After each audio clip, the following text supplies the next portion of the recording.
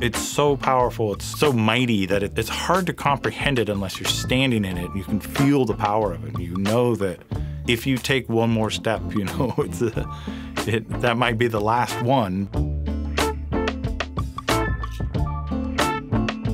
I have been working in the brewing industry for 10 years, and finally this year I decided it's time to go out and do it on my own beer making is a creative process. You need some fuel for that creative process. And I, and I feel like time spent in nature is one of the greatest fuels for creativity.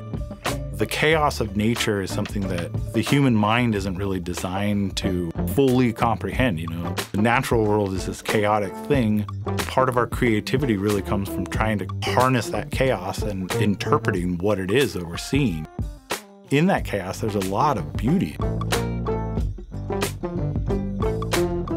I like to walk the river at dusk, looking at birds, lighting in that canyon at that point. When golden hour hits those canyon walls, it's, it's something spectacular. The way that it reflects these, these brown and green tones and then yellows and deep mahogany colors, that was the color palette that we brought in for the can.